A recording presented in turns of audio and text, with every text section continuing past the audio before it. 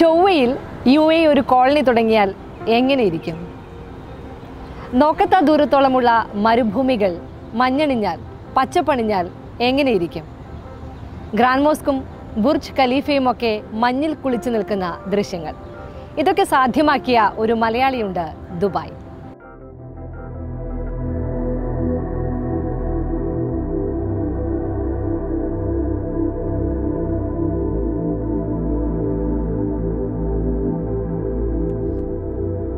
ചൂട് കനത്തുകൊണ്ടിരിക്കുന്ന ഒരു മാർച്ച് മാസ രാത്രി. ആ രാത്രിയിൽ ദുബായിലെ ഫ്ളാറ്റിൽ ഒരാൾ ഒരു സ്വപ്നം കണ്ടു. ബുർജ് ഖലീഫയും അറ്റ്ലാന്റിസും ദ ഫ്രെയിമും എല്ലാം മഞ്ഞിൽ കുളിച്ചു നിൽക്കുന്നത്. താൻ കണ്ട സ്വപ്നം മറ്റുള്ളവരെ കൂടി സന്തോഷിപ്പിച്ചാലോ എന്ന് കരുതി കണ്ട സ്വപ്നം വരച്ചു.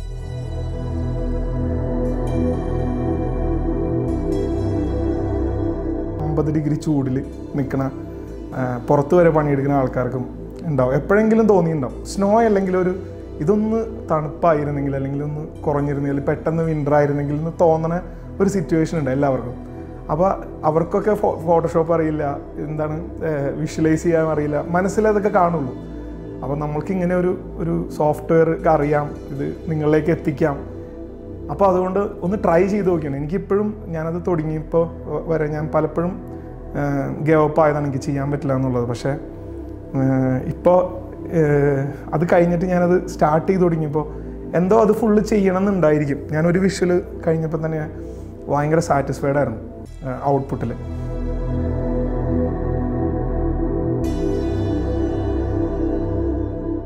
എന്തിന് മഞ്ഞിൽ മാത്രം ഒതുക്കണം?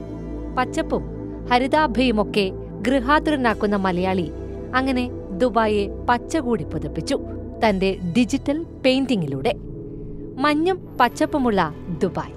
സ്വദേശികളുടെ മനസ്സിൽ വരെ കുളിർമഴ പെയ്ച്ചു എറണാകുളം പറവൂർ സ്വദേശി ജോ ജോൺ മുല്ലു.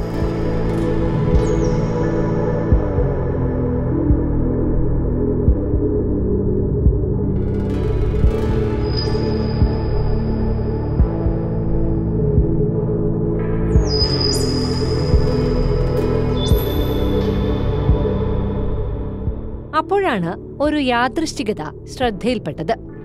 രണ്ട് നിറങ്ങളും യുവയുടെ ദേശീയ പതാകയിലുണ്ട്. എങ്കിൽ എന്തുകൊണ്ട് മറ്റ് രണ്ട് നിറങ്ങളും കൂടി ഉൾപ്പെടുത്തിക്കൊണ്ടുള്ള സീരീസ് ആയിക്കൂട എന്ന ചിന്ത കടന്നു വന്നു. അങ്ങനെ ചുവപ്പിനെ ഉൾപ്പെടുത്തി യുവയുടെ ചൊവ്വ ദൗത്യം. ചൊവ്വയിലൊരു യു എ കോളനി ഇമാഷ്യ എന്നാണിതിന് പേരിട്ടിരിക്കുന്നത്. ഇമറാത്തികളുടെ ചൊവ്വ ദൗത്യം എന്ന പേരിൽ. ഒരു ബിൽഡ് ചെയ്തുകൊണ്ടിരിക്കുന്ന ഒരു സാധനം മാത്രം കൺസ്ട്രക്ഷൻ മാത്രമാണ് ഞാൻ ഇപ്പോൾ കാണിച്ചിട്ടുള്ളത്. എന്താണെന്നൊന്നും പറഞ്ഞിട്ടില്ല. നമുക്കിവിടെ എർത്തിനൊരു ഓസോൺ ഉണ്ട്. ഈ ഒരു ഓസോൺ നമ്മൾ മാർസിൽ നമ്മൾ ബിൽഡ് ചെയ്യും ആർട്ടിഫിഷ്യലായിട്ട് അപ്പോൾ നോക്കുകയാണെങ്കിൽ ആ ഒരു ഓസോണിന്റെ അകത്തായിരിക്കും ഈ സിറ്റി നിൽക്കുക. അപ്പോൾ നമുക്ക് ആ ഓസോൺ ഇതിന്റെ ഉള്ളിൽ ടെമ്പറേച്ചറോ എന്ത് വേണമെങ്കിലും നമുക്ക് കൺട്രോൾ ചെയ്യാം.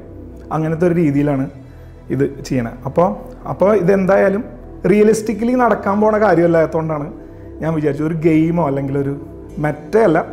നമുക്ക് ഏതെങ്കിലും ഒരു മൾട്ടിവേഴ്സ് ലേക്ക് സാധനത്തിനെ കൊണ്ടുവരാം. എന്നിട്ട് നമുക്ക് എല്ലാവർക്കും എക്സ്പീരിയൻസ് ചെയ്യാവുന്ന ഒരു സാധനമാക്കി മാറ്റാം. കാരണം രണ്ടായിരത്തി ഒരുന്നൂറ്റി പതിനേഴിൽ എനിക്കിപ്പോൾ അറിയാവുന്ന ആരും ജീവിച്ചിരിക്കണമെന്നില്ലല്ലോ. അപ്പോൾ നമുക്ക് അത് കാണണം. അത് എക്സ്പീരിയൻസ് ചെയ്യണം ആൾക്കാർക്ക്. അപ്പോൾ അതിന് പറ്റിയ ഇപ്പോഴത്തെ ഒരു സംഭവമാണ് മെറ്റ. മീൻസ് മൾട്ടിവേഴ്സ് ഏതെങ്കിലും. അപ്പോൾ ആൾക്കാർക്ക് ഓക്ലസോ അല്ലെങ്കിൽ എന്തെങ്കിലും വി ആർ വെച്ചിട്ട് അത് എക്സ്പീരിയൻസ് ചെയ്യാവുന്ന ഒരു സംഭവമാണ് ഞാൻ നോക്കണം. ചൊവ്വയിലൊരു museum of the future metaverse സജീവമാകുന്ന കാലത്ത് അത്യാധുനിക സാങ്കേതിക വിദ്യയിലൂടെ ഭാവനാ സംബന്ധമായ കലാവിരുന്നൊരുക്കുകയാണ് ഈ മലയാളി. ഈ ഒരു കൺസ്ട്രക്ഷൻ പോസ്റ്റുകൾ കുറച്ച് കഴിഞ്ഞതിന് ശേഷം മാത്രമാണ് ഞാൻ എന്റെ കറക്റ്റ് സിറ്റി എങ്ങനെ ഇരിക്കും എന്നുള്ള കാര്യം പുറത്തുവിടുള്ളൂ. അപ്പോൾ അതുവരെ കുറച്ച് കൺസ്ട്രക്ഷനും പിന്നെ കുറച്ച് കുറച്ച് ഏരിയാസ് എങ്ങനെയാണ്? അപ്പോൾ ഇത് ഇവരിപ്പോൾ പണി നടക്കുമ്പോഴും ഞാൻ ഇവിടെ പറഞ്ഞിരുന്ന ഈ അനൗൺസ്മെന്റ് ഒക്കെ ഇങ്ങനെയായിരുന്നു. മാത്ത് വില്ലേജിൽ ഈ സാൻഡ് സ്റ്റോം കുറച്ച് കൂടിയതുകൊണ്ട് ദുബായ് മ്യൂസിയത്തിന്റെ പണി കുറച്ച് സമയം ലേറ്റ് ആവും എന്നൊക്കെ പറഞ്ഞിട്ടാണ് ഞാൻ ചെയ്തിരുന്നത്. അപ്പോൾ അങ്ങനത്തെ ഒരു ഇതിൽ കൊണ്ടുവന്ന് ഹൈപ്പിൽ കൊണ്ടുവന്ന് കൊണ്ടുവന്ന് അങ്ങനെ ആക്കാൻ വേണ്ടിയിട്ടാണ് അങ്ങനെ ചെയ്തത്. തണുപ്പ് കാലം ദുബായിൽ ഉണ്ടെങ്കിലും യൂറോപ്യൻ രാജ്യങ്ങളിലേതുപോലെ മഞ്ഞിലുറഞ്ഞ ബുർജ് ഖലീഫയും ബുർജൽ അറബും അസംഭവ്യമാണ്. ഉറങ്ങുമ്പോൾ കാണാനുള്ളതല്ല സ്വപ്നം. ഉണർന്നിരിക്കുമ്പോൾ യാഥാർത്ഥ്യമാക്കാനുള്ളതാണ് എന്ന് വിശ്വസിക്കുന്ന ഈ മലയാളി കണ്ട സ്വപ്നം മറ്റുള്ളവരെ കൂടി കാണിക്കാനായി ഇറങ്ങിത്തിരിച്ചു. മഞ്ഞിൽ കുളിച്ച ദുബായ് ലെറ്റ് ഇറ്റ് സ്നോ എന്ന ഹാഷ്ടാഗിൽ ട്രെൻഡിംഗ് ആയി. അങ്ങനെ ലെറ്റ് ഇറ്റ് ബ്ലൂം എന്ന പേരിൽ ദുബായിയെ പച്ചയുടുപ്പിച്ചു അടുത്ത തവണ. മഞ്ഞിലും പച്ചയിലും കുളിച്ചു നിൽക്കുന്ന ദുബായ്. ദുബായിയെ മാത്രം വ്യത്യസ്തമാക്കിയാൽ പോരല്ലോ. മറ്റ് എമിറേറ്റുകളും ജിയോ ജോണിനെ മാടി വിളിച്ചു. മഞ്ഞിന്റെ മനോഹാരിതയിൽ നിൽക്കുന്ന ഗ്രാൻഡ് മോസ്ക് ഫെറാറി വേൾഡ് അത്ഭുത കാഴ്ചകളെ ആഘോഷിക്കുകയാണ് സ്വദേശികളും വിദേശികളും. വെറുതെ വരച്ചു വയ്ക്കുകയല്ല ഓരോന്നിലും അതീവ ഡീറ്റെയിലിംഗ് ഉണ്ട്.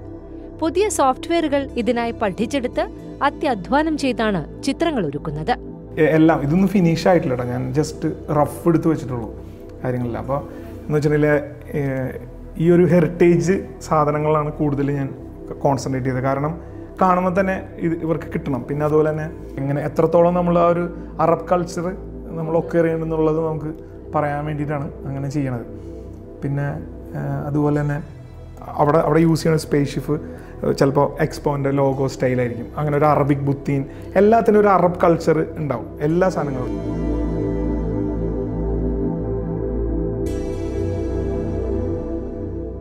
സ്വദേശികൾ ഉൾപ്പെടെയുള്ളവർ നൽകുന്ന നല്ല വാക്കുകളാണ് തനിക്ക് ഊർജം പകരുന്നതെന്ന് ജോ ജോൺ മുല്ലു